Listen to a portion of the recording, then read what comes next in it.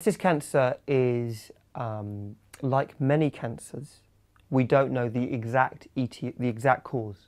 Uh, we know a little bit about it, and we know that there are some chromosomal, some genetic changes that develop to get testis cancer, but it doesn't look like we inherit those changes. And there are some issues about whether or not very early in life, even from an embryonal stage, whether one can predisposed to the development of testis cancer. Unlike many other cancers where we know there are direct uh, lifestyle um, factors involved, there is no one specific cause for testicular cancer. We know there are a number of risk factors. The most common risk factor is a, a condition called cryptorchidism, which basically means undescended testicle. When a male baby is born, your testicles will drop down into the scrotum after birth. Many of those men are identified when they're very young and operations are performed to bring the testicle down, often quite early on in life. However, their risk still remains above uh, normal men. Uh, and in patients where we are unaware that the testicle has failed to descend, that and the testicle remains within the abdomen, uh, that risk remains extremely high. It's also clear that if there's a family history of testicular cancer, that risk is raised.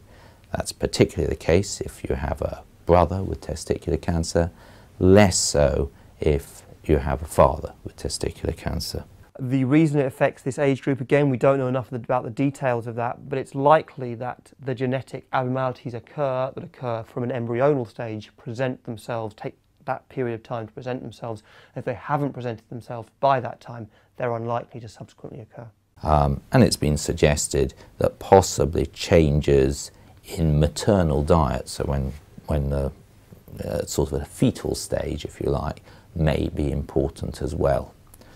Um, we know that testicular cancer is most common in Western type environments, and we are seeing rises in countries as, as they become more westernized and, and possibly start changing their diet. The other thing that we notice is that it's much more likely that testicular function will be impaired in patients who develop testicular cancer.